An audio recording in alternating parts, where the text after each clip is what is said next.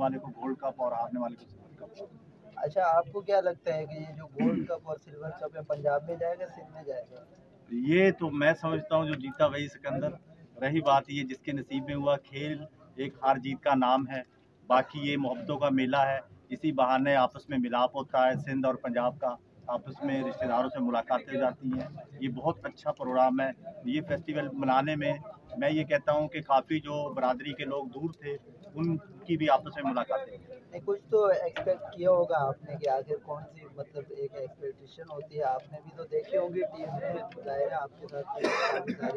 किसी की परफॉर्मेंस आपको ज़्यादा अच्छी लगी होगी इस हवाले से सर मैं तो ये समझता हूँ कि मैं लाजमी बात है सिंध में रहता हूँ। मैं तो यही कहूँगा कि ये कब सिंध में रहना चाहिए। कप